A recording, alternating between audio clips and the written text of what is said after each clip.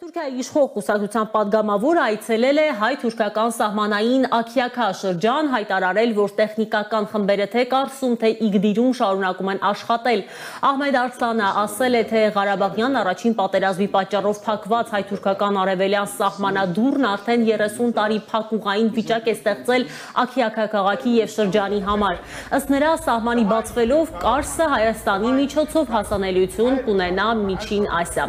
Էրդողանի կուսակցության ներկայացուցիչը հույս է հայտնել, որ կբացվեն նաև Թուրքիա-Հայաստան տրանսպորտային միջանցքները։ Թուրք падգամավորի տեղեկությամբ երթուղու վրա վերջերս աշխատանքներ են արվել երկաթգծի հետ կապված որևէ խնդիր չկա։ Ըստ նրա հայկական կողմի երկաթգիծը եւս ակտիվ վիճակում է եւ իրենք սպասում են, որ գործընթացները վարկյան առաջ ավարտվեն եւ ճանապարհները շահագործվեն։ Հայ փորձագետները հույս ունեն, որ թուրք падգամավորների ասացները տեղի չեն ունենա, որովհետեւ Թուրքիայի նպատակը Հայաստանի վրա վերահսկողություն ունենալ allmän student.